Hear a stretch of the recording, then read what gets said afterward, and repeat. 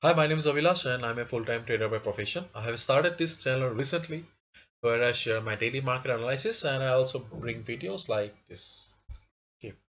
And please do not mind because I do not have any professional fancy setup. Okay, I'm just doing this from the comfort of my home. So without any delay, let's get started. Okay. So I have the uh, chart of Brookfield Asset Management in front of me right now. Uh, this video is not for day trading. For day trading purpose, I bring videos every day from Monday to Friday actually um, just before the market opens. This video is for investment purpose only. This video is for those people uh, who have this particular stock in their portfolio or who are looking for a stock or or who are planning to invest in Brookfield Asset Management.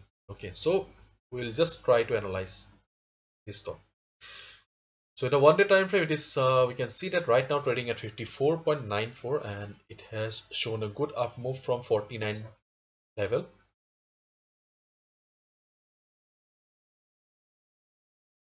But it has a resistance at this level, okay. And from resistance, see, after hitting the resistance level, after hitting this resistance level of, uh, it is showing some reversal sign it could not break this it could not break this high okay? The high it made on 24th november 2020 so let's see how it reacts okay? It may come down a little after gathering some strength it may go up again okay? If i zoom out the chart okay if i zoom out you can see that market was an uptrend after reaching after reaching uh, this 60 level it crashed okay? It crashed and from there onwards um, it's struggling. Okay struggling. It was in consolidation period. It was in consolidation period. Again it went up. So one thing is very clear that uh, yes right now it has failed to break this level. Uh, but eventually it will go up again. Uh, it eventually it will go up again and try to hit this level and after hitting this level mm, probably it will succeed. It will succeed in breaking this level because see this high was made uh, in the month of February March okay. So in the month of February March last year we all know it very well that uh, COVID-19 came into the scene okay. So COVID-19 uh, the vaccine has arrived and COVID-19 will no longer be uh, affecting the stock market. Hopefully fingers crossed i'm not sure. Hmm. so in that case uh, right now it is uh, it has failed to break the uh, resistance. It will cross okay. It will cross this level and it will try to break this level. Eventually it will break this level also because this high was uh, because this fall was only because of covid-19 only so this is the Brookfield Asset Management in one day chart. Okay, let's switch to one week time frame to get a clearer picture. Clearer picture. Hmm. The one week time frame. Okay, each candle denotes one one week. One week time frame tells us that it was in a beautiful uptrend. You can see that how beautiful it was. Hmm.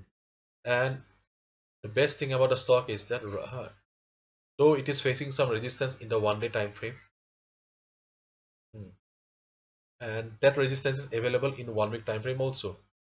But the best thing is that the stock is still trading above this 200 period moving average. That is the best thing. Okay. So it may it may reverse from here also or here also. If you are uh, if you have this uh, this stock in your portfolio then you don't need to worry because it will take time but you will be in profit. And if you are planning to start a fresh position in the stock then we all know that how market moves. Market doesn't move in a straight line.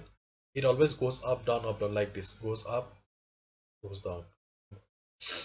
It will go up a little and come down. It will go up a little uh, it will come down. Because we all know it very well to go higher uh, you need to get a strength if you want to slap someone what do we do? If you want to slap someone we just uh, take our hand backward okay so that we can slap harder. That is a, that is the concept.